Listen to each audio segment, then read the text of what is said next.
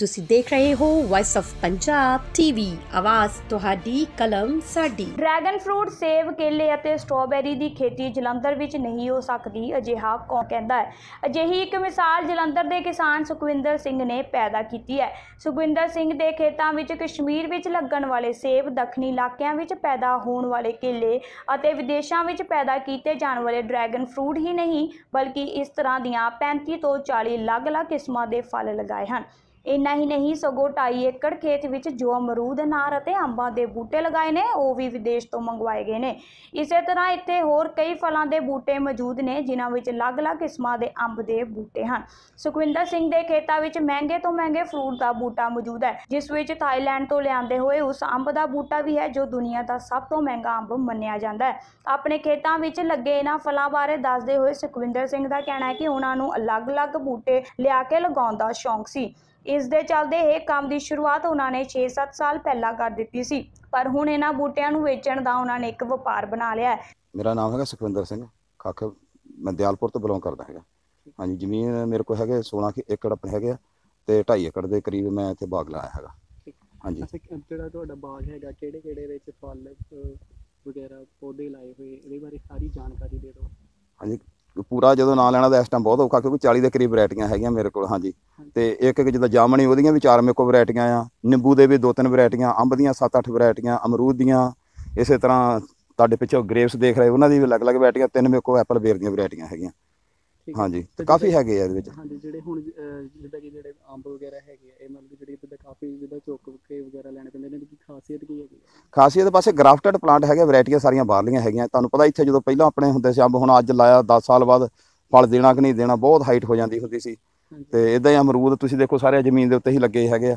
ਹਾਂਜੀ ਤਿੰਨ ਤਿੰਨ ਚਾਰ ਚਾਰ ਪੰਜ ਪੰਜ ਫੁੱਟ ਦੀ ਹਾਈਟ ਤੇ ਪੂਰੀ ਹਾਂਜੀ ਸਾਈਜ਼ ਵੀ ਪ੍ਰੋਪਰ ਆ ਹਰ ਚੀਜ਼ ਦਾ। ਪਹਿਲੇ ਆਮ ਤੌਰ ਤੇ ਜਿੱਦਾਂ ਦੇਖਿਆ ਜਾਂਦਾ ਸੀ ਕਿ ਜੇ ਕਿਸੇ ਨੇ ਸੇਬ ਦਾ ਜ਼ਿਕਰ ਕਰਨਾ ਤੇ ਉਹ ਜੰਮੂ ਕਸ਼ਮੀਰ ਦੀ ਤੁਸੀਂ ਇਸ ਚੀਜ਼ ਨੂੰ ਪੋਸੀਬਲ ਕਰਕੇ ਦਿਖਾਇਆ ਕਿ ਹਾਂਜੀ ਹਾਂਜੀ ਹਾਂਜੀ। ਮੈਂ ਪਹਿਲਾਂ ਇਸ ਚੀਜ਼ ਦੀ ਤੁਹਾਨੂੰ ਪ੍ਰੇਰਨਾ ਕਿੱਦਾਂ ਮਿਲੀ? ਹਾਂਜੀ ਮੈਂ ਫਸਟ ਆਫ ਆਲ ਜਿੱਦਾਂ ਮੇਰੇ ਦੋਸਤ ਹੈਗੇ ਮੈਂ ਵੀ ਜਿੱਦਾਂ ਸਟੱਡੀ ਕੀਤੀ ਹੈ ਡੀਵੀ ਕਾਲਜ ਤੋਂ ਤੇ ਹਿਮਾਚਲ ਤੋਂ ਜਿੱਦਾਂ ਬਿਲੋਂਗ ਕਰਦੇ ਮੇਰੇ ਦੋਸਤ ਹੈਗੇ। ਉਹਨਾਂ ਦਾ ਨਰਸਰੀ ਦਾ ਕੰਮ ਸੀਗਾ। ਅਸੀਂ ਫਿਰ ਸਾਰਾ ਰਿਸਰਚ ਕੀਤੀ 7-8 ਸਾਲ ਲਗਾਏ। ਫਿਰ ਇਹਦੇ ਵਾਸਤੇ ਜਿੱਦਾਂ 골ਡਨ ਐਪਲ ਇੱਥੇ ਅਸੀਂ ਬਹੁਤ ਵਧੀਆ ਸਾਡੇ 45 ਤੋਂ ਜਿੱਦਾਂ ਟੈਂਪਰੇਚਰ ਨੂੰ ਵੀ ਉਹ ਮੇਨਟੇਨ ਆਪਣੇ ਸਰਵਾਈਵ ਕਰਦਾ ਹੈਗਾ ਰਹਿੰਦਾ। ਤੇ ਹੁਣ ਇਸ ਦੇ ਰਿਲੇਟਡ ਜਿੱਦਾਂ ਕਈ ਕਿਸਾਨ ਵੀਰ ਤੁਹਾਡੇ ਕੋਲ ਆਉਂਦੇ ਹੋਣੇ ਉਹ ਕਹਿੰਦੇ ਹੋਣੇ ਕਿ ਅਸੀਂ ਵੀ ਇਦਾਂ ਦਾ ਕੁਝ ਇਦਾਂ ਹਾਂਜੀ ਹਾਂ ਮੈਂ ਕਾਫੀ ਸੇਲ ਕਰਦਾ ਪਲਾਂਟ ਹਾਂਜੀ ਆਪਣੇ ਪਹਿਲੋਂ ਮੇਰੇ ਦੇਖ ਕੇ ਜਾਂਦੇ ਹੈਗੇ ਵੀ ਜੇ ਇੱਥੇ ਹੋ ਸਕਦਾ ਸਾਡੇ ਵੀ ਹੋ ਸਕਦਾ ਹੈਗਾ। ਹਾਂਜੀ ਸਭ ਪੋਸੀਬਲ ਹੈਗਾ ਔਰ ਕੁਆਲਿਟੀ ਟੇਸਟ ਪੱਖੋਂ ਹਰ ਪਾਸੋਂ ਬਹੁਤ ਵਧੀਆ। ਹਾਂਜੀ ਤੇ ਅੰਤ ਵਿੱਚ ਕਿ ਤੁਸੀਂ ਕੋਈ ਸੁਨੇਹਾ ਦੇਣਾ ਚਾਹੋਗੇ ਕਿਸਾਨ ਵੀਰਾਂ ਨੂੰ? ਬਸ ਇਹੀ ਆ ਵੀ ਦਿਲ ਨਹੀਂ ਛੱਡਣਾ ਚਾਹੀਦਾ। ਹਾਂ, ਕੰਮ ਕਰੀ ਚਲੋ, ਕੰਮ ਕਰੀ ਜਾਓ। ਫਲ ਤਾਂ ਮਿਲਦਾ ਹੀ ਹੈ ਪ੍ਰਮਾਤਮਾ ਦਿੰਦਾ ਸਭ ਨੂੰ ਫਲ ਦਿੰਦਾ ਜੋ ਕੋਸ਼ਿਸ਼ ਕਰਾਂਗੇ, ਤਾਂ ਸਭ ਕੁਝ ਇੱਥੇ ਵੀ ਹੈਗਾ ਤੇ ਬਾਹਰ ਵੀ ਹੈ ਤੇ ਇੱਥੇ ਵੀ ਹੈ ਸਭ ਕੁਝ ਉੱਥੇ ਹੀ ਪਿੰਡ ਵਾਸੀ ਬਲਵਿੰਦਰ ਸਿੰਘ ਦਾ ਕਹਿਣਾ ਹੈ ਕਿ ਜੋ ਵੀ ਇਹਨਾਂ ਫਲਾਂ ਦੇ ਬੂਟਿਆਂ ਬਾਰੇ ਸੁਣਦਾ ਹੈ, ਉਹ ਇੱਕ ਵਾਰ ਜ਼ਰੂਰ ਹੈਰਾਨ ਰਹਿ ਜਾਂਦਾ ਹੈ। ਨਾਲ ਹੀ ਉਹਨਾਂ ਨੇ ਕਿਹਾ ਕਿ ਉਹਨਾਂ ਦੀ ਉਮਰ 50 ਸਾਲ ਹੈ ਅਤੇ ਉਹਨਾਂ ਨੇ ਆਪਣੀ ਪੂਰੀ ਉਮਰ ਵਿੱਚ ਇਸ ਤਰ੍ਹਾਂ ਦਾ ਕੋਈ ਖੇਤ ਨਹੀਂ ਵੇਖਿਆ, ਜਿਹਦੇ ਵਿੱਚ ਇੰਨੀਆਂ ਕਿਸਮਾਂ ਦੇ ਫਲਾਂ ਦੇ ਬੂਟੇ ਲੱਗੇ ਹੋਣ। ਉਹਨਾਂ ਅਨੁਸਾਰ ਉਹ ਖੁਦ ਹੈਰਾਨ ਹੁੰਦੇ ਨੇ ਕਿ ਵਿਦੇਸ਼ ਦੇ ਫਲ, ਜੰਮੂ ਕਸ਼ਮੀਰ ਦੇ ਸੇਬ ਅਤੇ ਦੱਖਣੀ ਇਲਾਕਿਆਂ ਦੇ ਫਲ ਪੰਜਾਬ ਦੀ ਧਰਤੀ ਤੇ ਕਿਵੇਂ ਪੈਦਾ ਹੋ ਸਕਦੇ ਨੇ? ਹਾਂਜੀ, ਆਪਣਾ ਪਿੰਡ ਦਿਆਲਪੁਰ ਹੈ ਜੀ। ਨਾਮ ਮੇਰਾ ਬਲਵਿੰਦਰ ਸਿੰਘ ਆ। ਅਸੀਂ ਆਪਣੇ ਖੱਤੇ ਵਿੱਚ ਪੈਲੀਆਂ 'ਚ ਰਹਿੰਦੇ।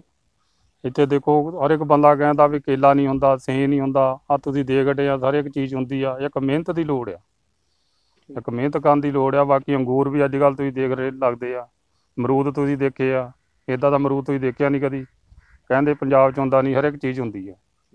ਤੁਹਾਨੂੰ ਲੱਗਦਾ ਸੀ ਕਿ ਜਿਹੜੇ ਸੇਬ ਇੱਕ ਜਿੱਦਾਂ ਵੀ ਹੁਣ ਜੰਮੂ ਕਸ਼ਮੀਰ ਦੇ ਵਿੱਚ ਹੁੰਦੇ ਆ ਜਾਂ ਤਾਂ ਇੱਥੇ ਵੀ ਹੋ ਸਕਦੇ ਪੰਜਾਬ ਦੇ ਵਿੱਚ? ਹਾਂਜੀ, ਹਾਂਜੀ। ਤੁਹਾਨੂੰ ਜੋ ਪਤਾ ਲੱਗਾ ਕਿੱਦਾਂ ਦਾ ਲੱਗਾ ਤੁਹਾਨੂੰ? ਹਾਂਜੀ ਹਾਂਜੀ ਸੇਬ ਹੁੰਦੇ ਆ ਪਰ ਹੁਣ ਰੁੱਤ ਲੰਘ ਗਈ ਆ ਹੁਣ ਸੇਵਾ ਸੇ ਦੀ ਜਿਹੜੀ ਸੀਗੀ ਫਸਲ ਉਹ ਤਾਰ ਲਈ ਆ। ਹੁਣ ਬੂਟੇ ਤੇ ਤੁਸੀਂ ਦੇਖ ਹੀ ਲਏ ਆ। ਹਾਂਜੀ। ਹਾਂਜੀ। ਅੱਜ ਸੁਖਵਿੰਦਰ ਸਿੰਘ ਖੁਦ ਚਾਹੁੰਦੇ ਨੇ ਕਿ ਪੰਜਾਬ ਦੇ ਬਾਕੀ ਕਿਸਾਨ ਵੀ ਉਹਨਾਂ ਵਾਂਗ ਫਲਾਂ ਦੀਆਂ ਅਲੱਗ-ਅਲੱਗ ਕਿਸਮਾਂ ਨੂੰ ਆਪਣੇ ਖੇਤਾਂ ਵਿੱਚ ਲਗਾ ਕੇ ਮੁਨਾਫੇ ਦਾ ਸਾਧਨ ਬਣਾਉਣ। ਕੈਮਰਾਮੈਨ ਅਮਨ ਦੇ ਨਾਲ ਸ਼ਿਖਾ ਪੰਡਿਤ ਵੌਇਸ ਆਫ ਪੰਜਾਬ ਜਲੰਧਰ।